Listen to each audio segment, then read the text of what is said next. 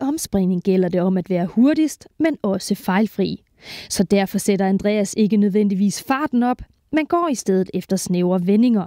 Man skal jo uden tvivl øh, få trænet omspringninger, øh, fordi øh, omspringninger øh, er uden tvivl bedst, hvis man kan vinde på vendinger og god redning i stedet for fart.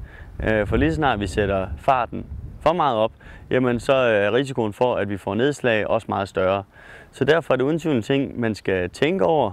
Det er ikke der, man skal have sit hovedfokus, men man skal da absolut træne det.